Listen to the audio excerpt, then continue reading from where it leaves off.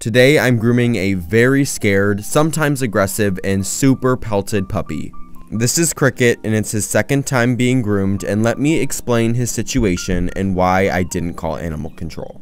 Actually, animal control wouldn't really help in situations like this because they count like the owners taking their dog in for their groom as them taking care of their dog. So, but anyways, Cricket was adopted by his mom and his mom's stepsister had the dog and was not able to take care of her dog and so she gave it to her mom.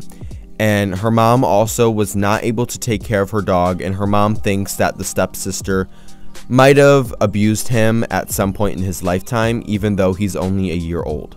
The stepsister's mom was also not able to take care of cricket so he was passed down to um, the other daughter of the mom in situations like these, it's kind of hard to like point a finger at anybody and why this dog got neglected for so long. Like, he was not good for the groom. He was just honestly very, very, very scared. And it was his front feet that he was just really difficult for. I was going really slow and being very gentle with him, but he still wasn't letting me run my clipper down his legs. I don't know if there's any groomers here, but I started with a 7 blade, moved to a 10, a 15, a 20, and I finally had to do a 30 on him to get through the tightest mats. This is kind of what I was saying before in my previous video about how people get dogs and don't know how to take care of them and then they end up in situations like these where it's not fair for the dog and I'm not blaming the dog for his behavior in any way whatsoever because it's not his fault. He, this is only his second groom he's scared, and this is how he fights back. It sucks because he really should be going to the vet to get vet groomed. In these next two or three appointments, if I'm not seeing any progress with him and he's not letting me touch his front legs at all, then um, we either need to go on a grooming sedative or he just needs to get vet groomed.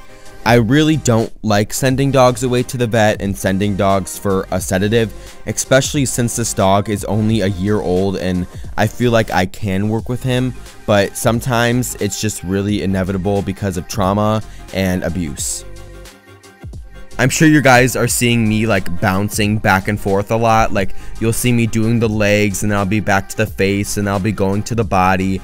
And this is because dogs in his situation, you have to groom like this because if you don't, they will not put up with a certain part and it might ruin the experience of grooming for them and they might act bad for grooming like forever.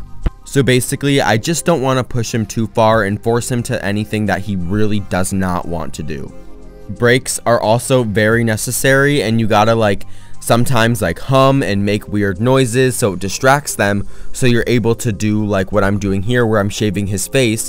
Before he would try and bite me but I was literally screaming like a maniac and that calmed him down. So hey I'll take it. I did the best I possibly could on his haircut. I really tried here guys. I know it's not perfect but our tools are sharp and I just want what's best for his safety Bye, Cricket!